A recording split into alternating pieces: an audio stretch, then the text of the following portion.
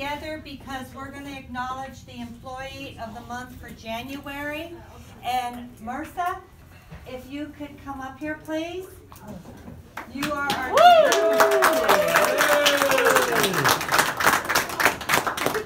So I visited with Marissa's uh, supervisor, and this is what your supervisor had to say about you.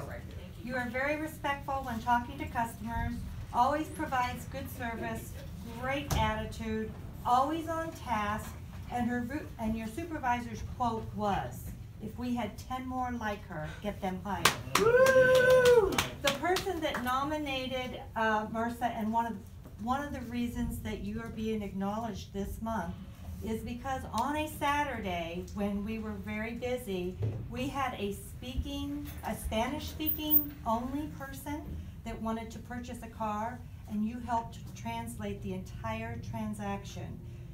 That is above and beyond what your job requires. That was awesome. So, so what we have, Marissa, for you, we have a few things. First, we have a hundred dollar check, money. Nice. Then we have a certificate that I need to get signed by Miles so that you will have for your office area. And we'll get that signed. And then this year, we're starting a traveling trophy. And it's called the Big Dog Trophy. So we want to present you with the Big Dog Trophy that will travel.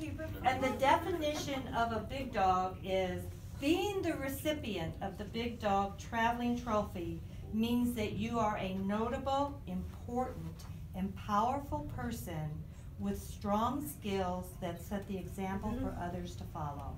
Congratulations. Yay!